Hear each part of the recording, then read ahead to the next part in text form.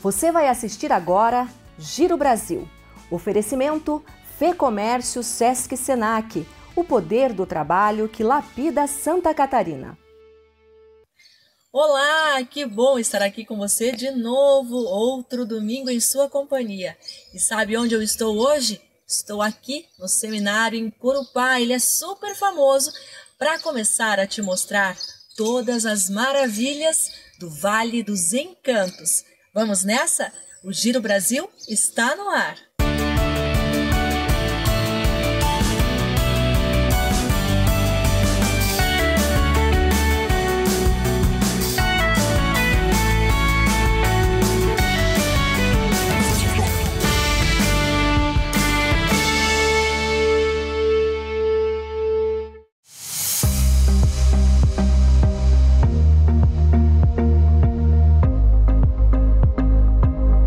Começamos a nossa aventura pelo litoral. Estamos em Barra Velha, que possui um clima muito agradável, principalmente no verão, com belas praias e com sua famosa lagoa, com aproximadamente 10 quilômetros de extensão, própria para a prática de esportes náuticos. Hoje, estamos com uma paisagem diferente, um misto de tempo nublado e de muita fumaça trazida pelas queimadas em vários locais do país. E quem disse que não dá para passear para fazer turismo nos dias nublados? Gente, cada paisagem fica peculiar com um clima. Hoje, olha só que coisa mais linda. Olha a atmosfera que tem esse lugar. Dá para a gente levar muitas fotos, muitos vídeos, muita lembrança para casa. Só aproveitar.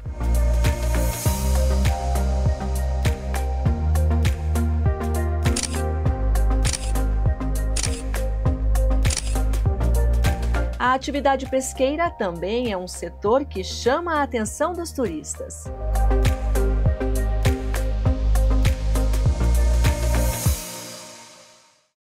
E essa é a famosa Praia dos Pescadores de Barra Velha. Aqui todos os dias, por volta das 7 da manhã, o pessoal vem para cá para comprar peixes fresquinhos que estes senhores pescadores lindos trazem para vender aqui na cidade. Vamos dar uma olhadinha, porque eles estão limpando ali. Se você quiser, você leva o peixe limpinho para casa. E olha só isso. Por eles estarem fazendo essa limpeza ali dos peixes, fica um monte de gaivota. O lugar fica ainda mais bonito.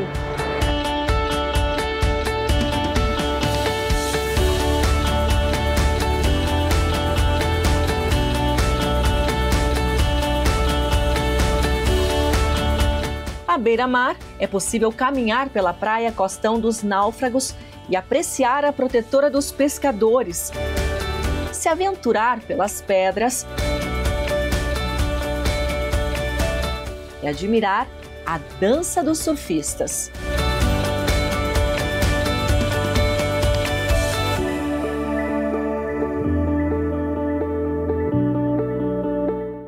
O bom de turistar pelas praias de Barra Velha é que os atrativos ficam pertinho um do outro.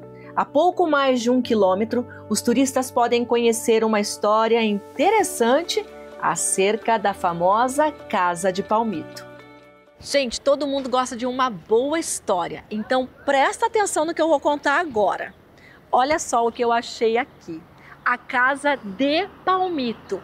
Essa casa, ela é totalmente construída com troncos de palmito mas ela tem uma história tão doida de amor e traição.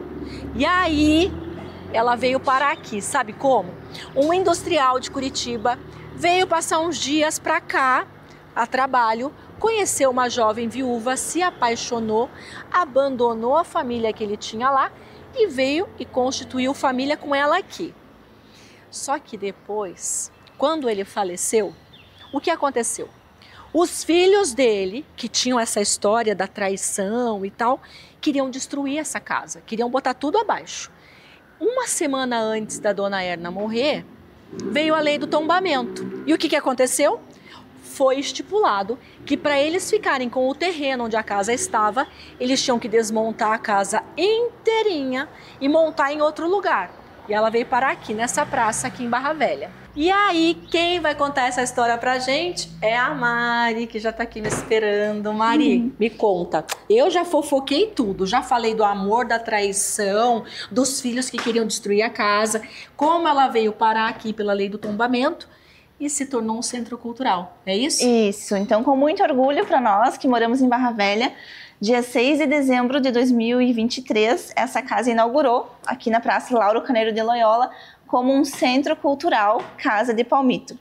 É, essa casa ela foi alterada os espaços por dentro, né? Por fora ela é toda original, tamanho original, paredes, janelas e portas, tudo como era a construção mesmo mas por dentro ela foi modificada para servir como um centro cultural mesmo, né? Vim aqui que eu quero mostrar então, nós temos de toda a história. Olha, tá tudo registrado Isso. aqui, ó. A gente pode conhecer a história toda por aqui. Nesse espaço nós temos a exposição fixa, na qual nós podemos contar a história da casa da, do casal, né, Erna Bizevski e Walter Becker.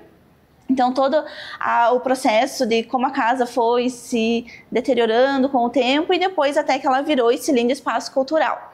É, nesse espaço que nós estamos, então, é a sala de exposições, que recebe exposições de artistas, alunos das escolas, né? As exposições, elas são sempre temporárias, elas duram entre uma, duas ou até quatro semanas. Então, sempre tem novidade para a população vir conhecer as exposições que estão aqui na, no Centro Cultural. E depois, mais ali, nós temos um auditório, Erna Bizevski, que recebe apresentações de arte, cultura, música, teatro, poesia, e onde também nós recebemos eh, os alunos, né, com agendamento para contar toda essa história aí da casa, para preservar nossa história. A dona Erna ia estar tá muito feliz de estar tá aqui, vendo que com a casa está preservada e levando conhecimento e viva, né? para muita gente, né? Porque o que ela mais queria é que a casa fosse viva, que essa história fosse prolongada, e é isso que nós passamos desde os pequenininhos até os adultos que vêm visitar a casa importante que a importância que tem essa construção, a história linda que ela teve, né? E hoje toda essa essa demonstração de arte que nós recebemos. A gente pode dizer que é uma história de amor cheia de embrólios, mas que teve um final feliz. Final feliz. Viu só que E que quem ganhou fomos nós, né, que moramos em Barra Velha e, e toda turistas, a população, né, né que os visita. que vem aqui. Obrigada. Imagina. Que legal que deve ser trabalhar num lugar desse, porque a energia é bem gostosa, a gente sente, teve traição, teve, gente. Qual é o amor que não tem, desculpa falar. Mas ó, a energia da casa é maravilhosa, então eles, eles devem ter sido muito felizes aqui. É, né? e é um espaço muito aconchegante, todo mundo que entra aqui fala isso. É, se sente é bem. É muito gostoso, muito bom mesmo. Se sente acolhido. Obrigada, vou dar uma voltinha. Fica à vontade. Obrigada.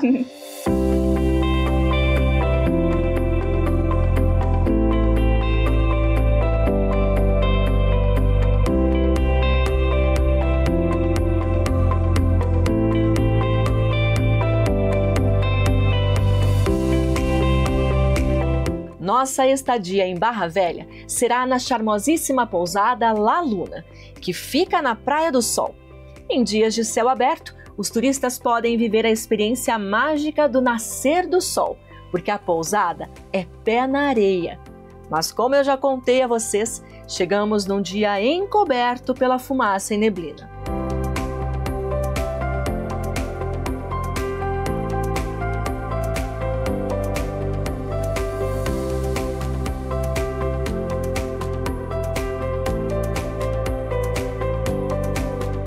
Mesmo assim, o aconchego da La Luna torna a nossa experiência super agradável. A pousada conta com 10 suítes rústicas com o barulhinho do mar. Tem também um jardim de inverno super charmoso, além daquele delicioso café da manhã.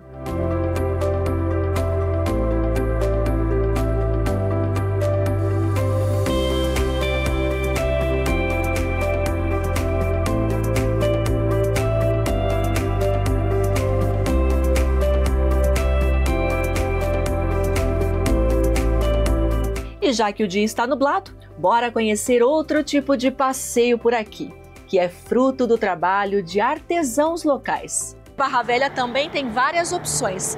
Nós vamos conhecer agora uma fábrica de cristais que é famosa por aqui. Tchau! O pessoal adora buzinar quando a gente está gravando, né? Mas vamos fazer tudo bem natural.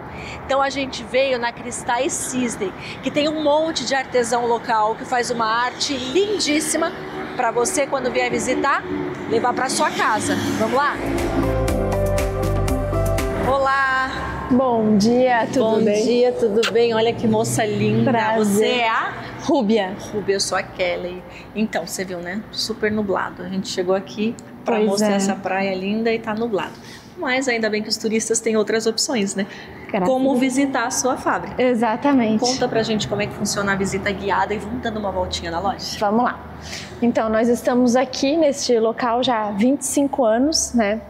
Santa Catarina é bem conhecido por, pela produção de cristais, desde a antiga cristaleria Hering até as atuais.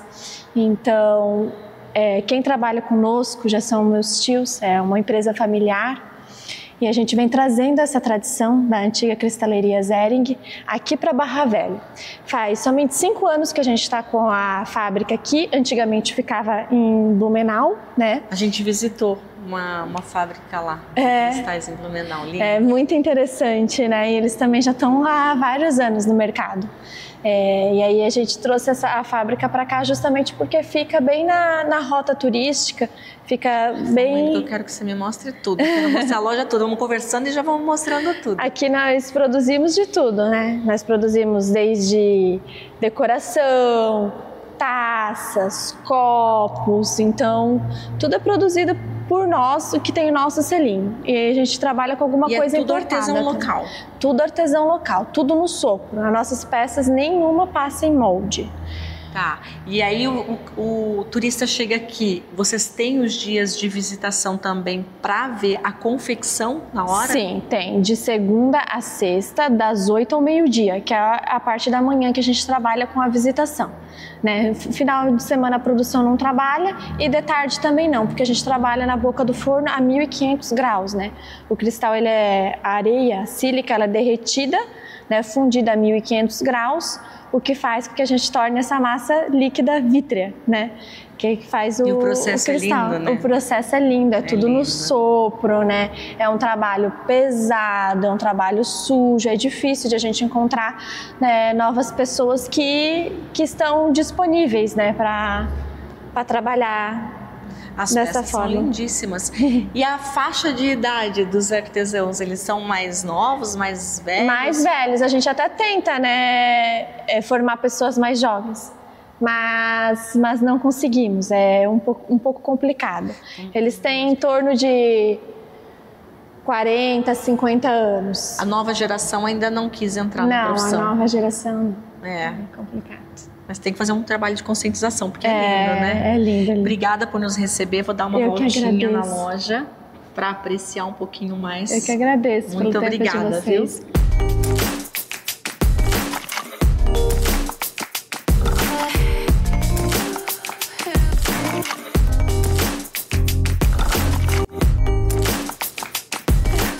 Antes de sair da cidade, é claro, é hora de provar a gastronomia local. Ó que lugar animado! A gente vai fazer aquela paradinha pro almoço e ó que lugarzinho mais aconchegante. Oi, tudo bem? Já vamos chegar dançando, ó. Clima de praia, oi, tudo bem? Tudo bem. E você? Tudo bem, viemos almoçar hoje. O lugar é lindo e tem aquela vibe praiana que todo mundo adora. E para deixar esse dia cinza mais colorido, que tal tomar um drink de ponta cabeça? Isso mesmo! O menu de drinks por aqui é diferenciado. Dá só uma olhada nisso.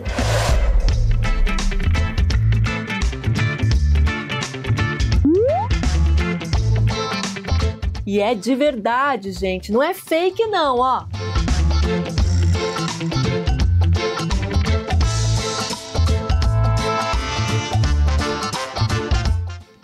Soube que eles buscam o peixe lá com os pescadores, super fresquinho. E quando os pratos chegam, gente do céu, como diria Fernando Pessoa, sozinho no cais deserto, a esta manhã de verão, olho para o lado da barra, olho para o indefinido, olho e contenta-me ver. Chegou a hora de dar tchau à Barra Velha e partir para o nosso próximo destino, desbravar ainda mais o Vale dos Encantos. Não saia daí, hein? Eu volto já já.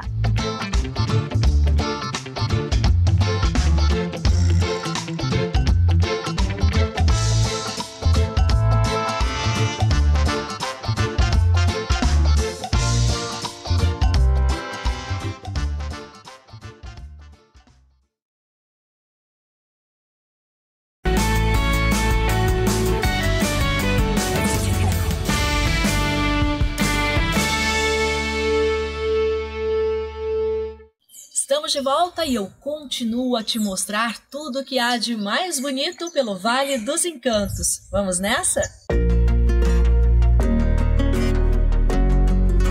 Agora que eu já te mostrei um pouquinho sobre Barra Velha, que tal conhecer mais sobre as outras cidades que formam o Vale dos Encantos?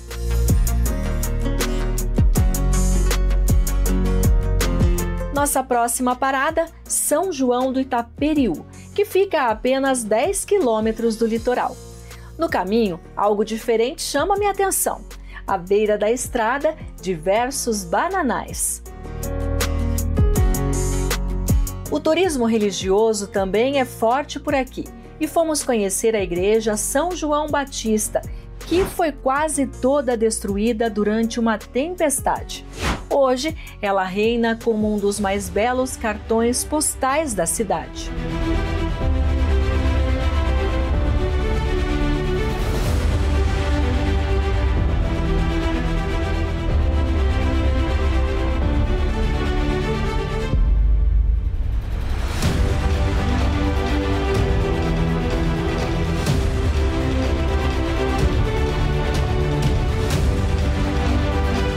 Lindo, né? Mas bora continuar o nosso rolê e nos deslumbrarmos ainda mais pela paisagem.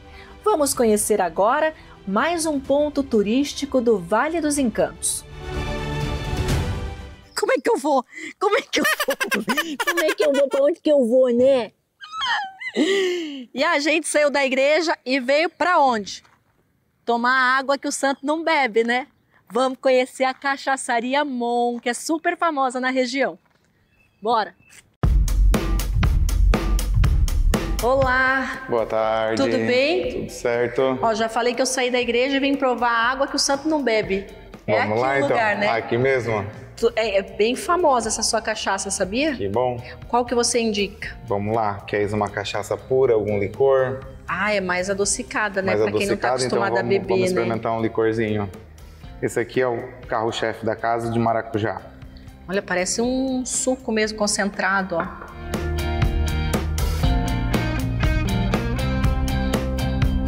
Como é que funciona a visitação aqui? Só chegar aqui, quiser conhecer a, aonde fabrica a cachaça, também pode. Hum. Que delícia! A gente mostra. Nossa, que delícia! Parece que é bem caseiro, né? Sim. Nossa. Ele é feito com a... É tudo feito aqui, né? A nossa cachaça, a gente compra daí a polpa do Pega um aí pra fazer um brinde comigo, homem. Pelo Vamos amor lá. de Deus, eu beber sozinha essa hora do dia. Isso que eu não bebo. Aí, a fila. Ainda bem. Eu espero que você não me faça provar um por um, né? Mas é o certo? Não, pelo amor de Deus. Ei, mas vem, quando os vem visitante, ele pode tomar tudo assim, ó? Pode experimentar todas elas, mais as cachaças que tem no barril ainda. Não vai prestar. E o povo toma? Tem gente que consegue tomar Tem todas gente elas? que toma. Todas elas? Paga uma taxa pra vir? Não, Pra degustação? não paga taxa. Ó, tá afim de ficar bêbado, não quer gastar, vem conhecer a cachaçaria. Você vai provar, no mínimo, essa fileirinha aqui, ó. De graça. Daí depois leva pra casa e tá feito. Ó, fazer Isso um brinde aqui, ó. Um brinde à cachaçaria Mon. É 1954? 1954. Vou contar essa história todinha. Adorei. Nossa, que delícia.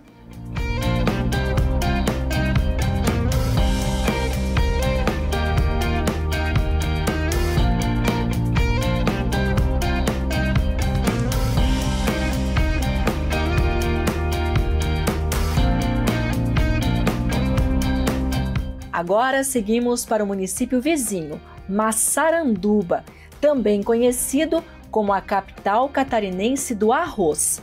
E essa paisagem costuma atrair turistas que gostam de registrar a beleza natural da região. Por onde se olha, se encontram igrejas ou arrozais. Um visual para lá de bucólico e interessante.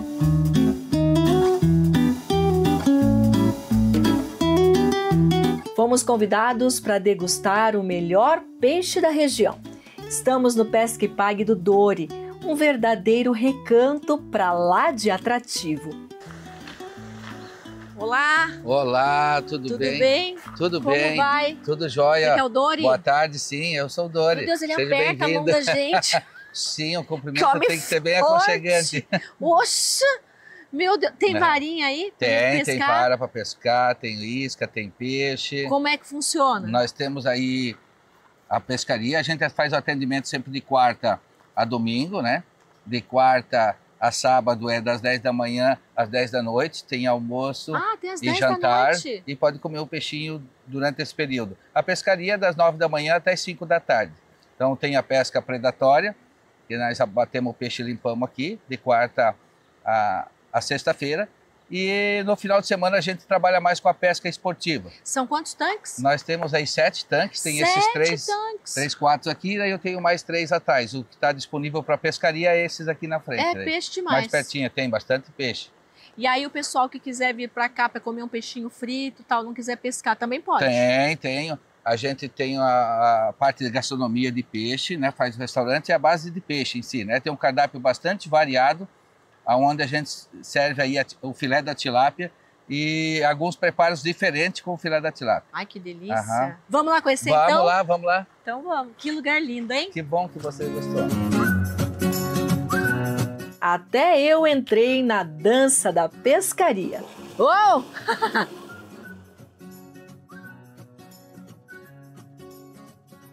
O jantar está garantido. Ihu!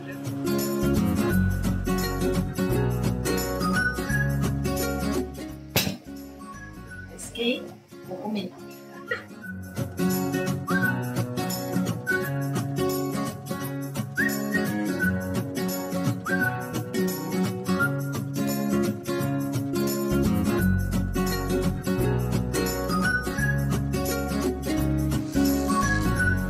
Ai, que delícia.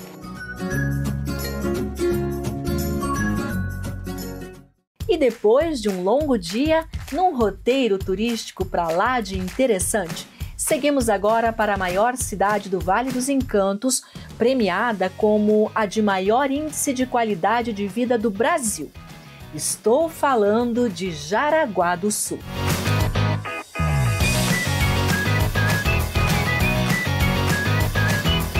Nossa estadia será no moderno Hotel Kairos.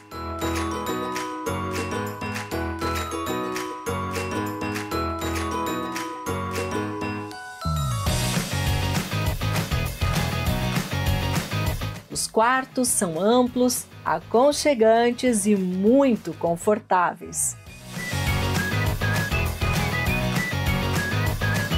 E eu nem imaginava que o melhor estava por vir. Olha só o que me esperava por aqui. Fui convidada para uma massagem relaxante no spa do hotel e a Janete começou com o delicioso escalda-pés.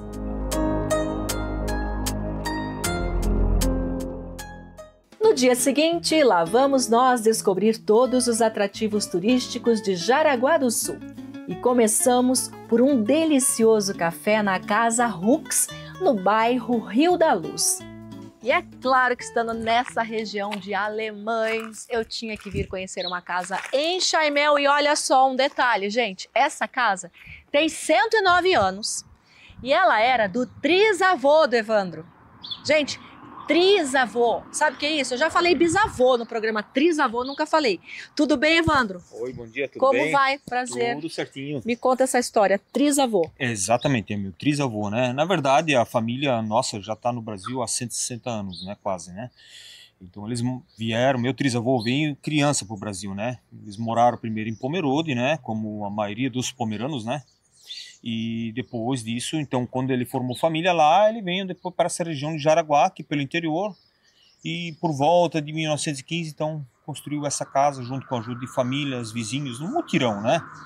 E aí tá até hoje, né? Foi passando de geração, né? Para geração, né? E eu sou hoje. Seu pai chegou a morar aqui ou não? Sim, nós moramos. Eu nasci, cresci, fiquei adulto nessa casa também ainda, né? Que demais isso! E eu sou basicamente a quinta geração da casa, vamos dizer assim, né? E agora vocês transformaram num café rural. Isso, transformamos ela num café rural. Vamos atalhar a conversa que eu tô ficando com fome, Claro, tô curiosa claro, pra claro. ver esse café. Vamos Então lá? vamos lá, gente, vamos lá, Vamos vamos lá lá. então.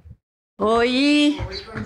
Bom dia. Tudo bem? Ó, a gente já tem uma lemoa aqui esperando, linda. O que que tem nesse café da manhã que eu tô curiosa? Então, tem um pouquinho do que a gente serve hoje no nosso café tradicional à tarde, no caso, né? É, tem nas nossas cucas que a gente faz, tem a cuca de queijinho, de banana. Cuca, gente, cuca, leite. eu adoro cuca. Aí tem o pão caseiro que a gente faz, né? Aí tem a manteiga que a gente prepara, o melado, o queijinho, linguiça. O queijo do nosso parceiro, que o Evandro falou que tem mais propriedades aqui hoje, né? Que fazem, então o queijo é de, de um produtor local também, né? Que então a gente tem- sempre tenta fomentar os nossos produtos aqui, né? E o pessoal pode comer à vontade. Pode comer à vontade. aham. né? Então, eu tô tomando café aqui com a Elo, que é da Viver de Tu, tá acompanhando a gente na viagem.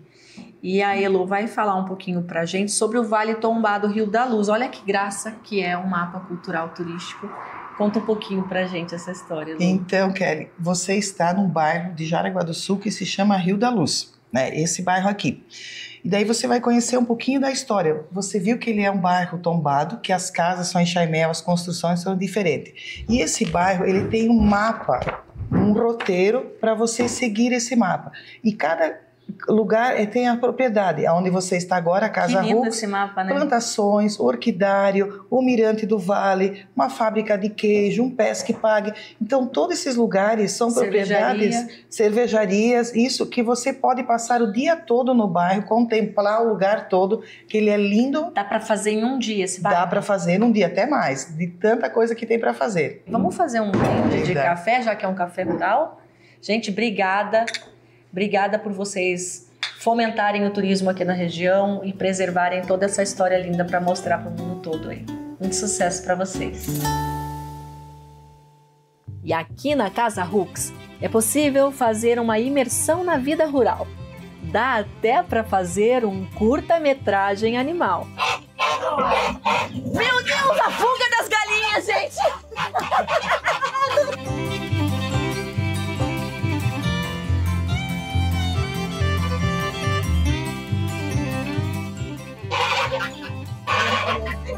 Chegou o diretor da escola, né?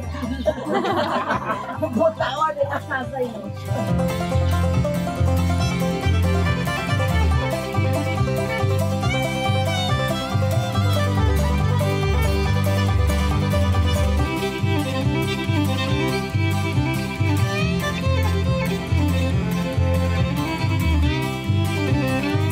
Nos despedimos deste lugar encantador e seguimos o nosso passeio pelo magnífico Vale do Rio da Luz, o principal local da imigração alemã dentro de Jaraguá do Sul. Aqui, o Infam fez o primeiro tombamento paisagístico do Brasil. E para entender isso, basta dar uma olhada neste relevo incrível e nas construções históricas no estilo enxaimel. Próxima parada, a Igreja do Apóstolo Paulo, onde um transporte para lá de original nos espera. E agora a gente vai visitar uma igreja luterana que é muito comum aqui nessa região dos alemães. Mas antes, eu vou conversar com um rapaz que está me esperando aqui com um veículo bem peculiar e ele já vai contar para a gente por que que se chama Combilume. Tudo bem, Rafa? Tudo bem, Muito prazer. prazer. Por que Combilume? Então, a gente estava num trabalho de trazer um veículo para fazer o pessoal poder rodar dentro do bairro, né? Aí vai opções, opções, opções, de- escolhemos pela Kombi. E daí começamos a produzir ela, cortar e fazer as coisas. E ficamos naquela dúvida, poxa, qual que é o nome que nós vamos colocar nela? Porque para fazer a menção às coisas do Rio da Luz. E o Rio da Luz tem esse nome pela referência aos vagalumes nas beiras dos rios. E que é muito comum no verão, né? É, que tem bastante vagalume nas beiras de rio, né? Que é baixada e tal, né? Aí a gente teve essa incrível ideia de botar essa ligação. Aí eu ouvi falar que fica tudo iluminado à noite, né? Sim, Na beira sim. do rio. A gente não bastante. vai conseguir fazer agora no inverno? Eles se escondem? Eles se escondem. Ele, por causa do frio, é que a- o verão é a época de reprodução deles, né? Eu tô falando que eu vou ter que voltar aqui em outra época, no verão, para fazer as aventuras com o tempo bem limpo e fazer os, os vagalumes e vamos fazer um pedal, né? Sim. Quanta coisa que tem aqui nesse. Tem, Só tem. nesse bairro dá pra passar quantos dias gravando o programa? Ah, olha, uns três dias e dá pra pegar pelo menos. Tranquilo, né? Pra gente fazer imagem de tudo. Ô, Rafa, antes de fazer o passeio, eu vou conhecer a igreja e daí a gente vai. Você espera um pouquinho? Sem problema. Então já volto aí. Já espero. Tá bom.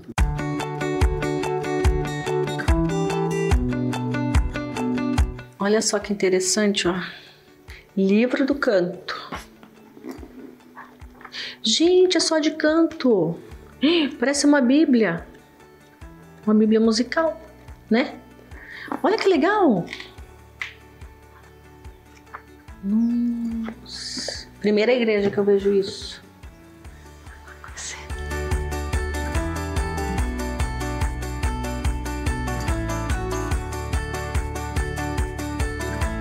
Agora partiu Combilume. Pedala Combilume! Vamos embora. Eu confesso que não imaginava que a nossa manhã fosse ser tão surpreendente e que passear de Kombi se tornaria uma das experiências mais lindas que eu já tive em minhas viagens.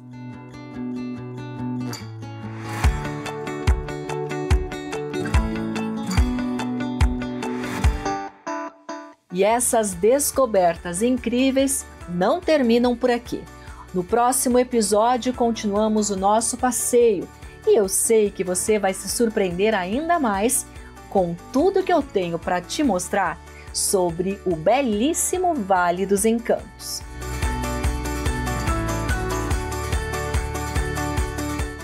Lindo demais, né? Não é à toa que esse lugar se chama Vale dos Encantos. Espero que você tenha gostado e a gente se vê de novo no próximo domingo aqui na telona da TV Cultura. E se você quiser continuar a acompanhar as nossas aventuras, é só procurar a gente aí ó, nas nossas redes sociais que estão agora em sua tela. Então eu me despeço por aqui. Um beijo no seu coração. Fui. Tchau.